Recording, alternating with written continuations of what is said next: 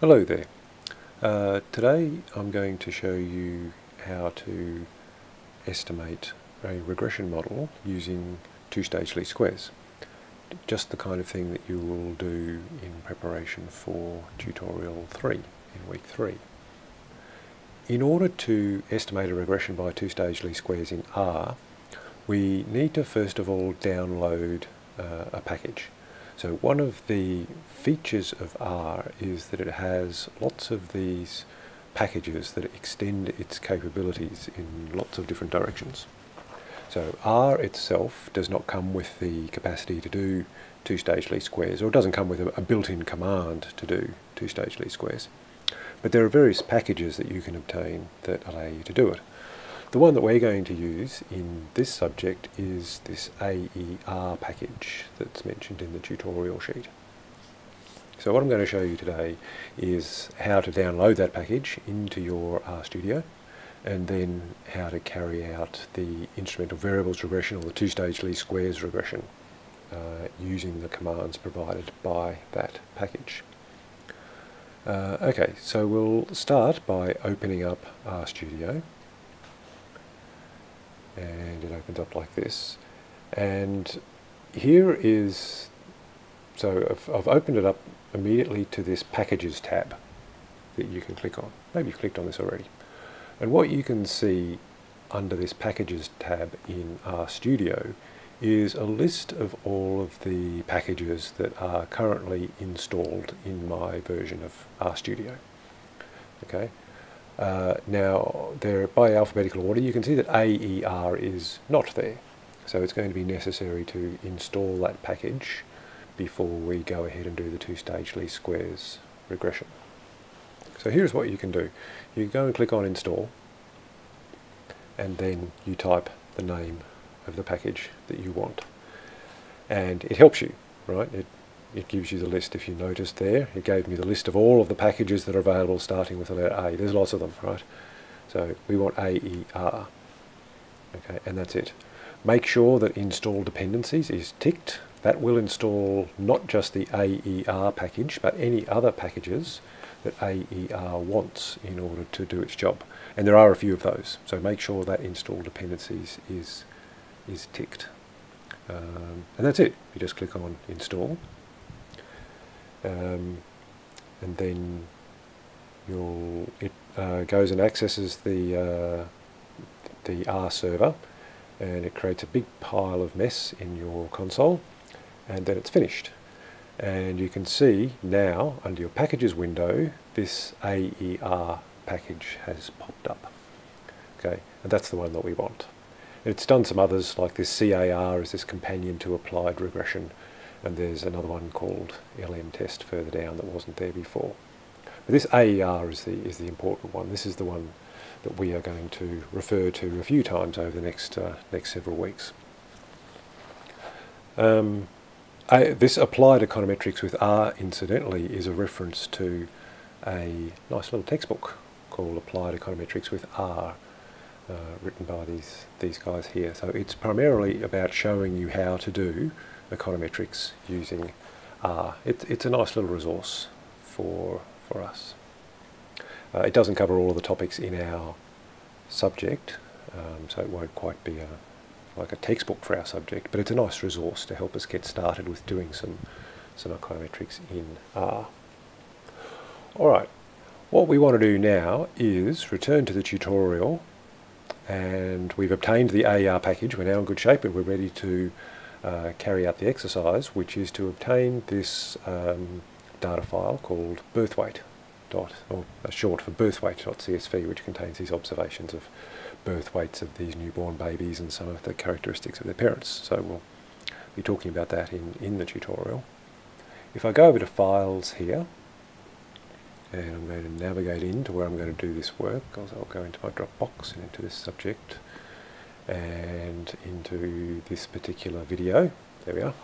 And I've put the file there. So this is the birthweight.csv data file that I've already put in there.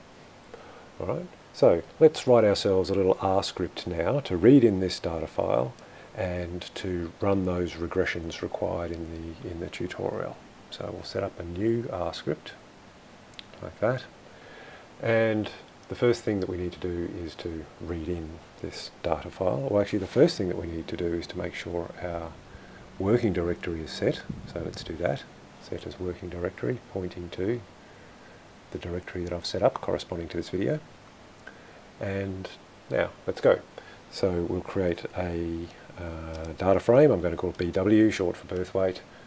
And we'll read dot CSV from the birth weight dot CSV file. Okay, just the usual thing that you've done before now. Uh, let's pause there and make sure that that works, right? So we'll save that script, we'll call that birthweight.r, that will do. And let's run that and make sure that we're reading in the data correctly. Okay. Um, so if we open up the environment, we now have the birth weight data frame and there are the there are the numbers there. So for instance the first variable is this family income variable which consists of observations 13.5, 7.5, 0.5 and so on. If we go back to our files and have a look at that CSV file we can see that the first variable is family income with observations 13.5, 7.5, 0.5 and so on. So um, you can see that we've read in that data file correctly so far. That's good. In the tutorial exercise, uh, the first thing it asks you to do is to run a regression of the log of birth weight measured in pounds uh, regressed on the packs, which is a variable which uh, gives us the number of packs of cigarettes smoked by um, the baby's mother um, per day, average per day. Okay, so we want a regression of the log of birth weight on packs. So let's do that. Um, I'll call that, let's say, equation 1 is LM. So this is just the standard regression at this point. Um, uh, nothing new yet. Uh, the log of birth weight in pounds is going to be regressed on packs and the data can be found in BW. Okay. And why don't we have a look at that to start with. Okay, so let's run that. And when we do it, we have, if we look in the environment, we have an equation now, and I printed out the summary, so there it is. So the SRF in this case has an intercept of 1.996 and a slope coefficient on the packs variable of minus 0.089. Okay, that's standard OLS. So far so good. That's the um, first part of part A. I'll leave it to you to think about the coefficient estimates, interpret them and think about do they make sense in this context. Okay, that's something for you to think about. Uh, let's move directly on to part B, which says we now have this possible instrumental variable for the variable packs, which is cigarette prices okay, the price um, that the individual, we have a total of 1,388 individuals spread across the US here, okay, spread across the states of the US, and the cigarette price varies uh, for these individuals. So this cigarette price is being used as a possible instrument for packs. In the tutorial, part of the job of the tutorial is to discuss why that would be. Okay, does that make sense or does that not make sense? Okay, I won't dwell on that now. I just want to show you the computing part of this now uh, and leave the interpretation for the, for the tutorial. Okay, so we're going to use cigarette price as an IV for packs and use two-stage least squares to estimate uh, the coefficient. So here's how that works. Now, two-stage least squares is estimated by a command that's provided by this AER package. Okay. So the first thing that we need to do is to make sure that this AER package is actually loaded. If that's not loaded into RStudio, so the fact that it's here doesn't mean it's loaded. If we want to load it, we can do one of two things. One, we can simply click here. Okay, and when we click there, it will load the AER library into um, R's memory. And notice that the CAR library got uh, package or library got uh, uh, indicated as well. That's because the AER package calls on some procedures from CAR. So sometimes when you click on one package, you'll sometimes magically see other ones appear as well. Once these are indicated, that means you can now use commands from that library. Okay. The other way that you can do that, if you want to code this into your program so that you don't forget to do this uh, every time you return to your work, there is uh, a command which is simply library AER and that will do the same job as what we just did over here by clicking in this window. Okay, Whichever you do it will work the same. Uh, there is an advantage to putting this command into your R script because it means that you don't have to remember to click on this um, AER package every time you go into RStudio um, and, and, you return to your work. You simply put this library AER into each one of your scripts and then you can forget about it after that.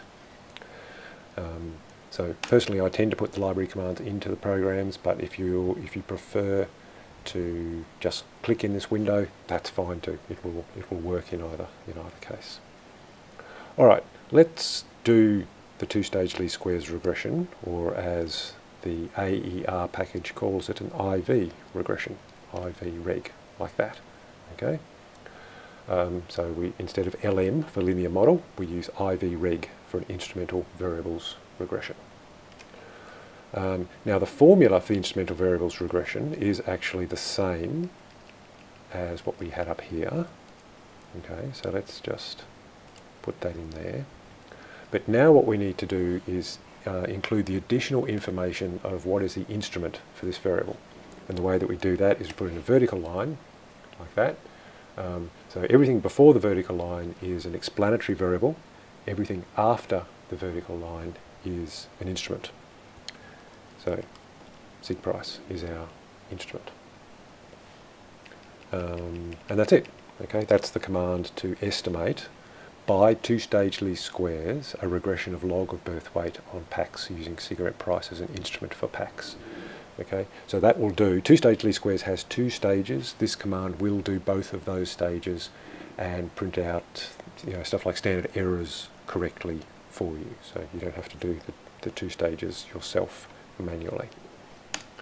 Um, okay, let's um, print out a summary of that estimation as well.